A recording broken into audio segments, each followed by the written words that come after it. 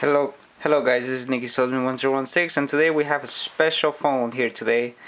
It is the Huawei Ascend Mate phone, the biggest phone in the world at the moment at 6.1 inches. I just got it in, and I have the pleasure to say it's one of the best phones I've ever owned, other than the Galaxy Note 2.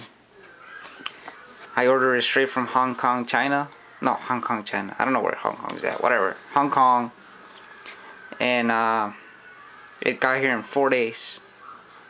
FedEx International Express. Here's the packaging, as you could see. It's similar to the Galaxy Note 2.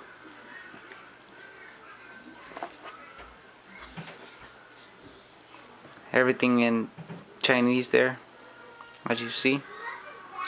It does come in with a 6.1 IPS HD 720 inch screen. It comes with a Huawei self-made um, quad-core 1.5 gigahertz processor. It records at 1080p. The bottom, the uh, rear camera.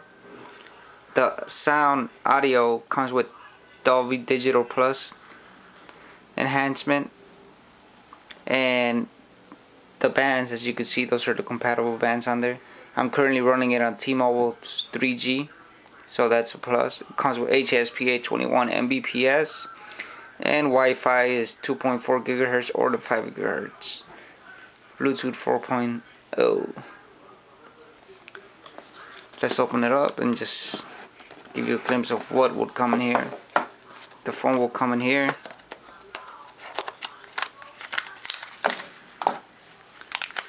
We got some paperwork in here. This is the starting guide.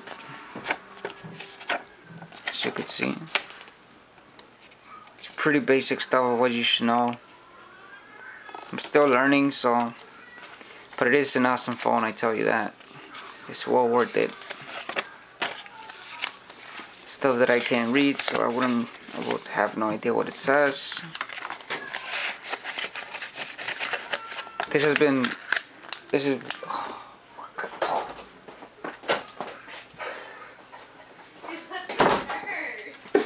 this is one of the. This is one of the most awaited phones for myself and some.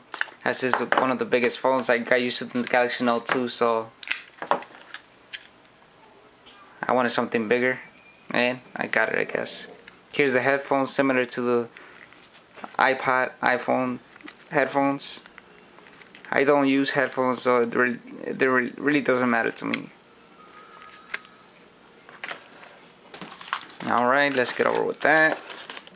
The charger, I have it currently plugged in somewhere else, but it's just a normal USB charger. Here's the phone, as you can see. Let's see if we get a better camera view.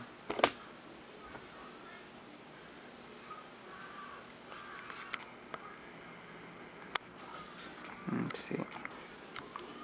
As you can see, that's the earpiece right there. Then there's the front facing camera, it's a 2 megapixel I believe. 2 megapixel. There is no physical buttons or uh, tactile buttons on the bottom, whatever. Everything is just on the screen itself. Here's the volume rocker, power button, headphone jack.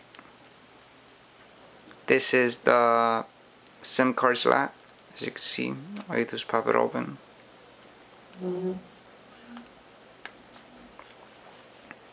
this is the micro SD slot. As you see this does not have a removable back plate it is a high-end phone for some of you that don't think this is high-end phone. It comes with a micro SD slot and the and the SIM card slot on it even though you can remove the back Here's the micro USB charging port or computer connection and the mic on the bottom. It does come with a 4050 milliamp battery, which I tell you it's one of the best batteries that has lasted me the longest ever. The rear camera is a I believe it's an 8 megapixel with some special sensors on there so it's a good camera. There's the uh, LED for the flash. And you might not be able to see it but once you get a message or you're charging this does come with um, what do you call that? The little LED status light. So when you charge it or you get a message the light will light up. It's just a little dot. You can barely see it. Alright here we go this is the moment to turn it on show you guys what's on there. As you can see this is 6.1 inches. It's 73% more screen than body so little bezel. It's easy to hold on one hand but it's difficult if you have small hands to use with one hand. You will still have to use two hands even if you have big hands so. The lock gives you the options to go to camera phone messages or just regular unlock to the home screen. It's pretty soft pretty smooth so there's really no lag. This is a custom launcher I got on there at the moment. The normal launcher that it comes with does not have an app screen so everything that you install goes to a different uh, just a different screen on the side there's no app drawer on there so whatsoever. As you can see it's smooth as butter. Quad core running Android 4.1.2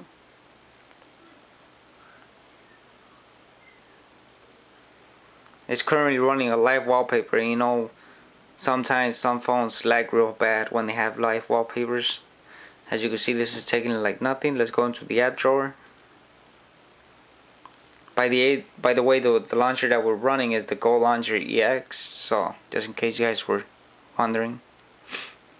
As you can see is the big screen which is able to hold seven apps down by six apps across.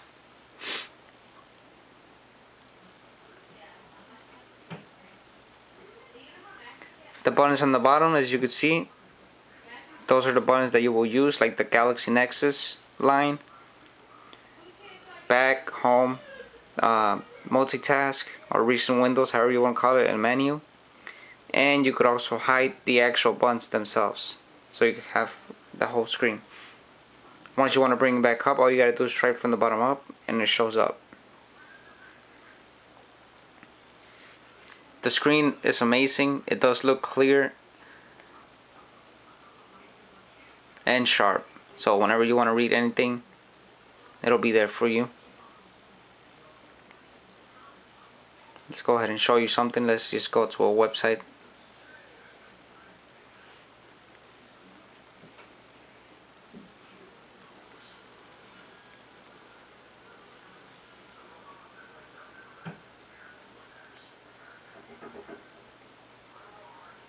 Alright, let's see. This is the mobile. Let's go ahead and load the full website if I could find the option to do it.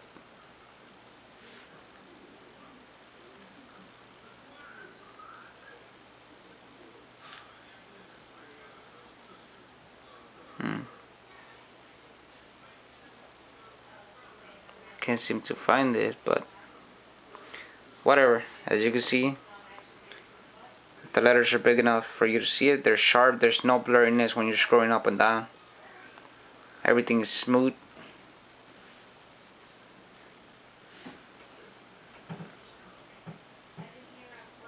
you have the option to swipe each one at a time or just press this little brush and it closes everything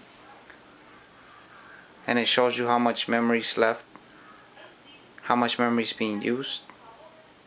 This does come with 2 gigabytes of RAM, so it comes with 8 gigabyte storage, which is not the best, but you are able to swap the inside, uh, the internal memory for your memory card.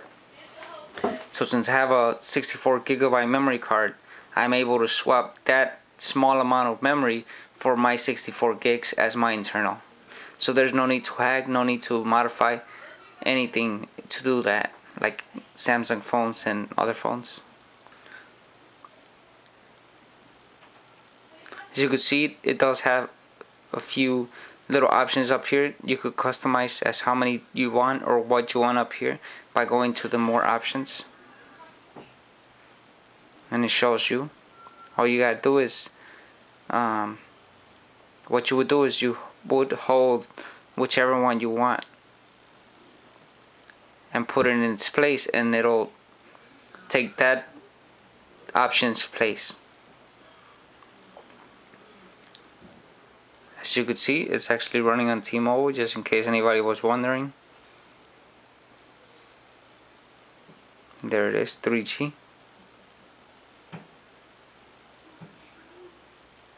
I'm still in the process of reviewing a little bit more as I just got it yesterday and I have not ever ever bought a Huawei phone so it'll take time to learn all of its features but let's go into its menu to see what it offers it offers most of the things all other phones offer but this also has the, the option to hide the navigation bar the navigation bar has a power management uh, option.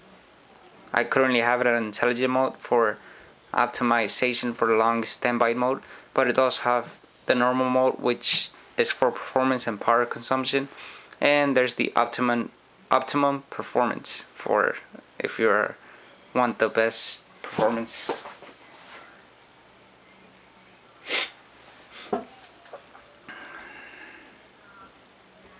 This does not come out Google certified out of the box so you will have to root it and install Google services yourself.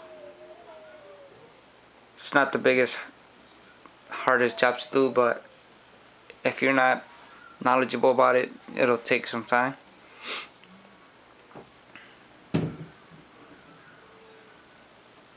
As you can see the viewing angles it does not fade away. As you saw the rotational it rotates real quick.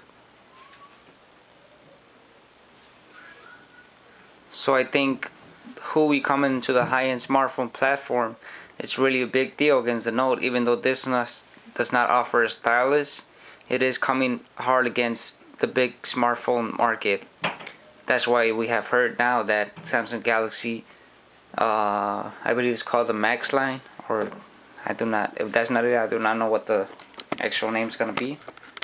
But once they come out, they're supposed to be coming out with 6.3 inches and I think believe 5.9 to contend against these phones and all the other 5 inches and above. But I believe this is one of the best phones that I had at this size. People are amazed and they're like, what is that, a tablet or what? I'm like, well, it's the best of both worlds it's a tablet and I could talk to, to people, text people, or do whatever I want. I like big phones. So this this has been a quick unboxing and a quick small review, not the full review. I will be coming back to it so you guys could see it. And I hope you guys enjoy. Remember, if you guys enjoyed the video, let me know in the comments below, you know. And I'm pretty sure that you already know that I thank you guys for all the support you guys give me. Thanks for watching. Have a nice day.